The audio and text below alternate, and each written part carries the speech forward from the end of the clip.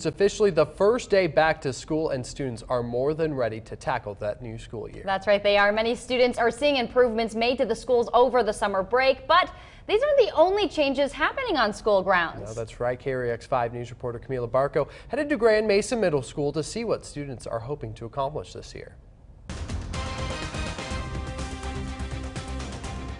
Early bird gets the worm. Welcome back! Good morning! And in this case, Tara Niederkorn We are so glad you're here! is starting the school year on a positive note. It's the best day of school. It's going to be a great year. But she doesn't stand alone. Welcome. Welcome! So I'm hoping to make this school better. Vice President of Grand Mesa Middle School, Bryce, Welcome back. Would you like a water? is dedicating this school year to creating healthier relationships between the student body. I'm planning on uh, trying to help stop bullying, and we're trying a new thing called restorative practices.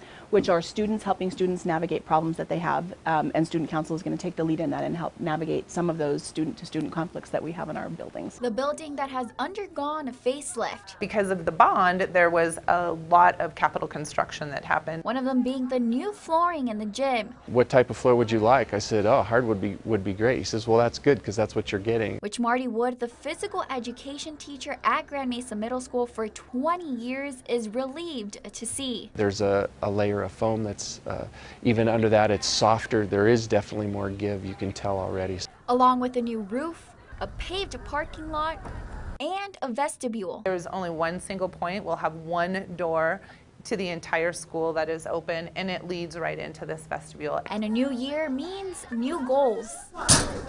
Well, I'm going to try and run for president this year, so that's my goal. My goal is also to keep with a high uh, grade average. My goal my students um, write goals for themselves and achieve those goals. While these students may face some challenges, it's a school year the Timberwolves are ready to tackle. Open now. Yes! We did it! First on the Western Slope, Camila Barco, KREX, 5 News. And from student to teacher, everybody's excited for the first day of school. We'll keep you updated on this bullying initiative in the coming months. District 51 says they will have about 22,000 students enroll in school this year. I would vote for Bryce for president. Mm-hmm. That is a smart kid right And there. Miss Niederkorn, she seemed like a great teacher. yeah, seriously, really good story, Camila. We mm-hmm. appreciated that.